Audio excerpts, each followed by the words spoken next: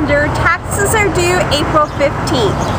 We ask people how their tax filing is going. I'm a youth pastor for a living, so I'm in full-time vocational ministry, and then um, I filed through a family member. I'm definitely expecting a refund, so I'm getting I'm getting a little bit of money back, which is cool. I'm retired. I did file my taxes already, and I am expecting a return. I'm unemployed. I had my taxes filed through uh, AARP. I got a return already, but I owe them seven dollars. I'm IT fee. I I file you know, online. I don't know if I'm going to get